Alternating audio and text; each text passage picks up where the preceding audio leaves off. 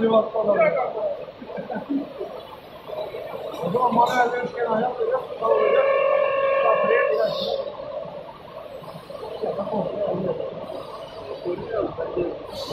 Yok kontrol değil. Şimdi sen bu camın ölçüsünü girmiyorsun ki.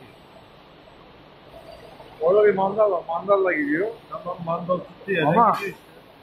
Robot nasıl böyle gidecek? Böyle kendi çekiyor. Sabit duruyor zaten aşağı indir. Yukarı doğru. Mesela yatık cam var. Şurası yan. Açı böyle. Bak açısı Mandal böyle. önden gidiyor.